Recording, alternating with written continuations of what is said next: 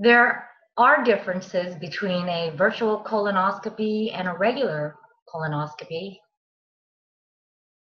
Is one more effective than the other? Again, I am not a doctor, but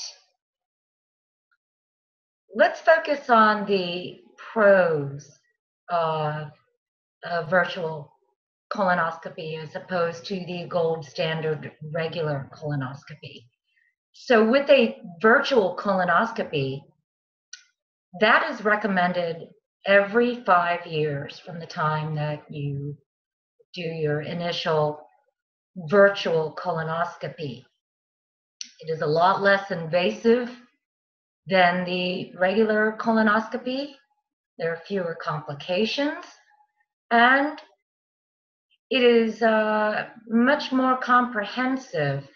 Um, and by that, I mean that your doctor is actually going to be able to look beyond the colon, the colon itself, uh, perhaps stemming all the way throughout the pelvic area.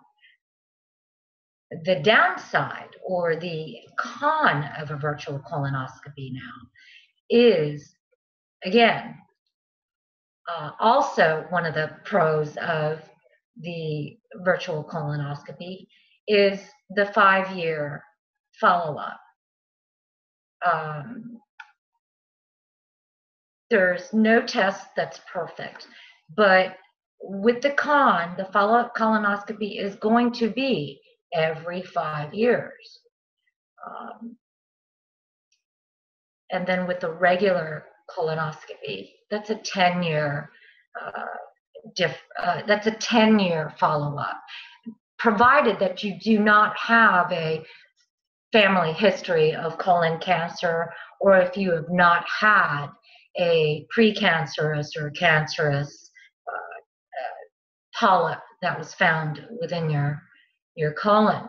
Now the upside to the colonoscopy, the gold standard, is you're killing two birds with one stone. Uh, not only will they be able to screen, they three actually birds with one stone. They can screen, they can diagnose, and they can prevent the colon cancer uh, by simply removing the affected polyps right then and there.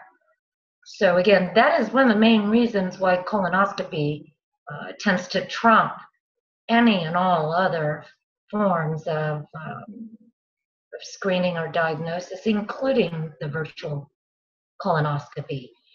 But the main issue is to get screened doesn't necessarily mean having to go through such an invasive procedure of a colonoscopy. A screening is a screening.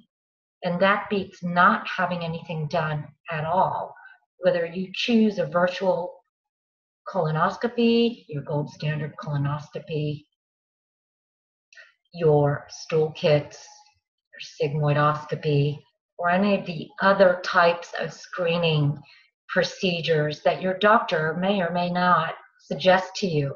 Keep your mind open, listen to what your physician has to say, listen to what others around you have said.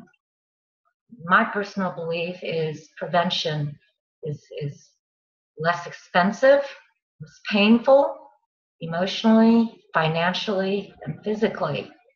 If you can choose to uh, decipher for yourself which way to go in screening, virtual colonoscopy is, is a, a fantastic way to get screened.